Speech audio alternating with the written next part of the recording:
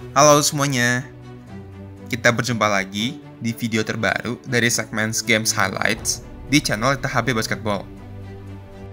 Video ini merupakan kelanjutan episode keempat lalu dari Arena Basket Putra Pekan Olahraga Daerah Jawa Barat ke-11 tahun 2010. Kali ini, tim Kota Bandung ditantang tim Kota Bogor di babak final yang berlangsung di Gor Pajajaran, Bandung. Tinggalkan pesan, saran, pertanyaan, atau request topik video berikutnya di kolom komentar ya. Sampai berjumpa di video selanjutnya dari channel ITHB Basketball. Dan selamat menyaksikan.